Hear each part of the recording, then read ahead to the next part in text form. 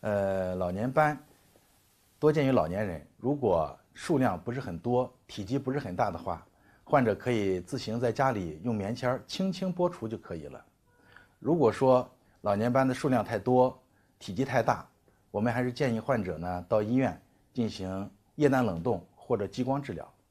液氮冷冻是拿这个液氮，零下两百度的液氮，用棉签这个蘸着液氮，轻轻地点在皮损的上面，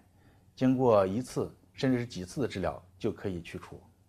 激光的话，我们可以选择二氧化碳激光或者其他类型的激光，也是通过这种外这个有创的一种治疗。除了这些方法之外呢，我们还可以选择药物治疗，比如说维甲酸制剂、他扎罗丁凝胶、呃阿达帕林凝胶，这些都可以。这些药物的使用呢，是在晚上临睡前，